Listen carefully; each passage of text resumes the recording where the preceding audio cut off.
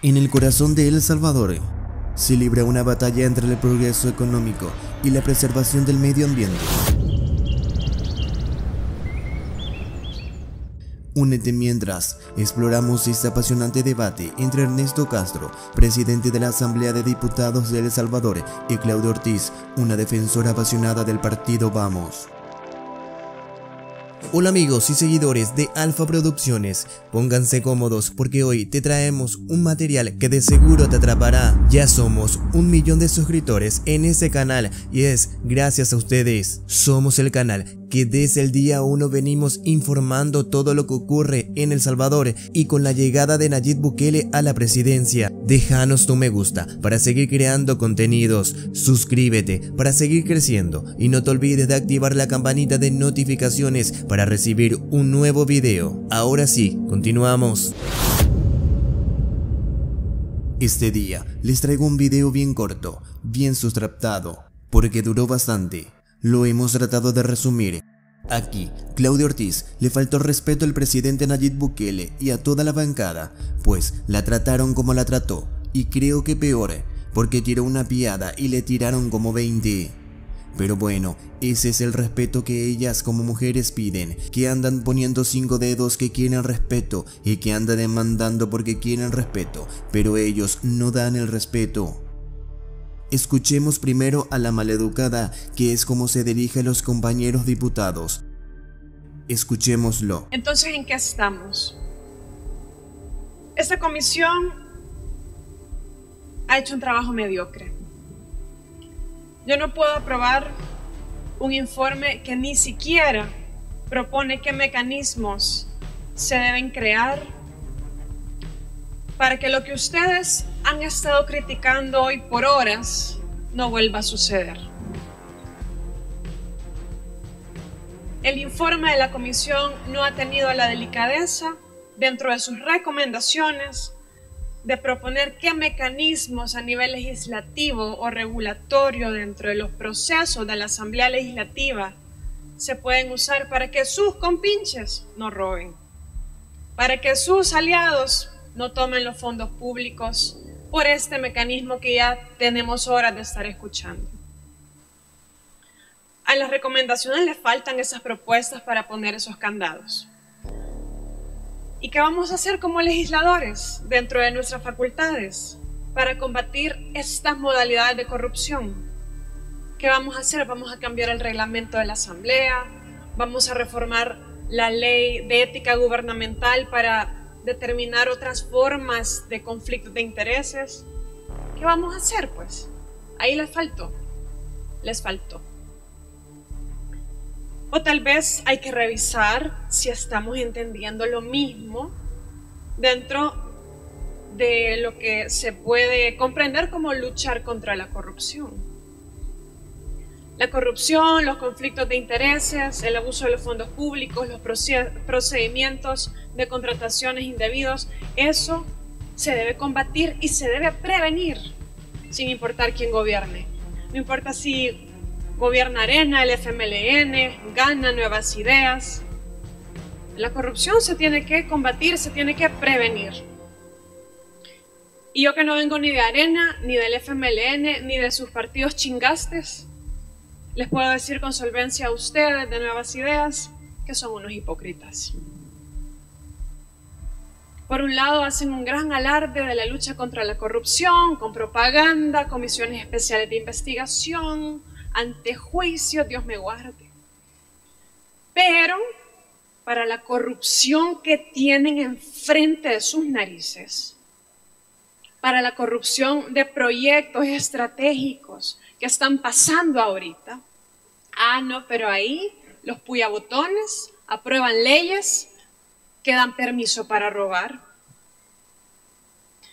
Han aprobado, no una, esta y otras leyes, desde la famosa ley Alaví, que han legalizado la corrupción, que han dado amnistía al uso irregular y abusivo de los fondos públicos. Son unos corruptos.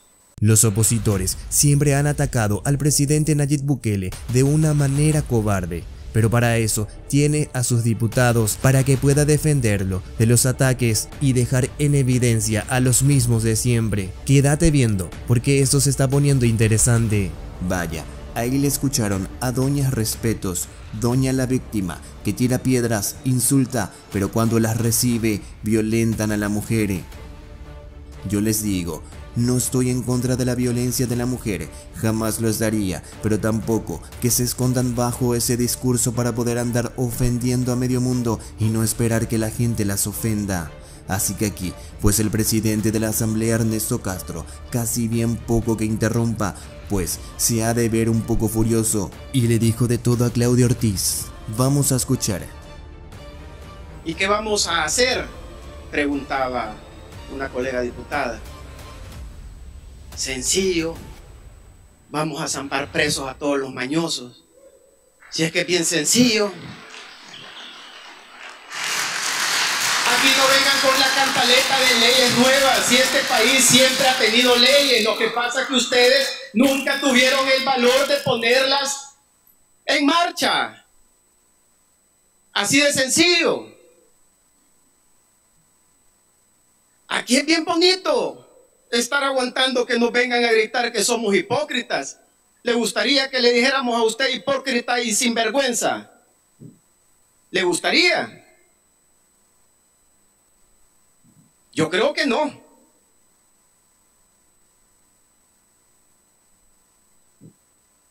Si quiere tener altura, de altura. Pero no esté esperando altura cuando usted demuestra una bajeza en este órgano legislativo. A mí me gustaría decirle que si le quitamos esa iPad no, no supiera qué decir. Si solo a leer la mandan. Si aunque le dé risa, nerviosa.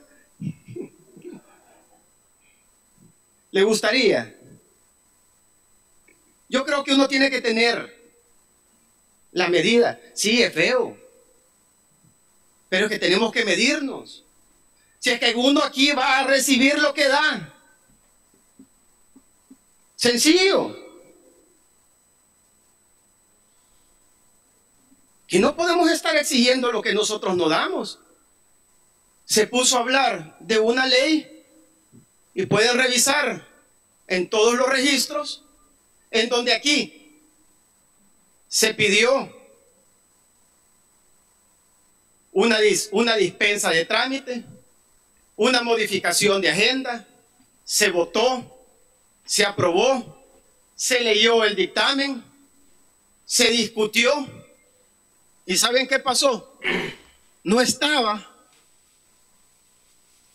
No estaba aquí. Es que aquí ya se les acabó, hombre. Que las cosas se van a hacer como ustedes quieren. Entiendan. Y es que nosotros hemos metido nada de lo que ustedes digan, pues si el pueblo salvadoreño no confía en ustedes, punto. Y nosotros vamos a cumplir lo que el pueblo salvadoreño nos ordene y nos ha ordenado. Punto. Ya dejen de ser lastre para este país, hombre. Entiendan.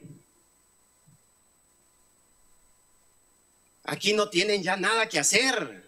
Vayan allá a las comunidades a hablar con la gente. Vayan a las colonias, vayan a los pueblos, vayan a los caseríos, ahí hablen con la gente.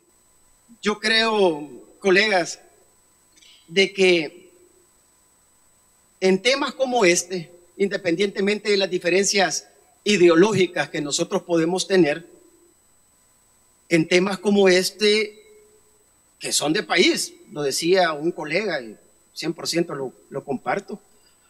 Esa corrupción, ese cáncer que tanto daño le ha hecho a nuestro país. No podemos seguir aguantándolo. Y debemos de crear estos precedentes para tener las solvencias de las generaciones que están actualmente y de las que vienen adelante de nosotros. Porque en algún momento nosotros nos vamos a ir de aquí. Pero tenemos que dejar cuáles van a ser esos precedentes que vamos a dejar. Gracias a todos por mirar el video hasta el final, espero que te haya gustado y así puedas volver en un próximo video. Cada día estamos informando todo lo que ocurre en El Salvador, así que ya saben, esto ha sido todo por hoy, nos vemos en una próxima.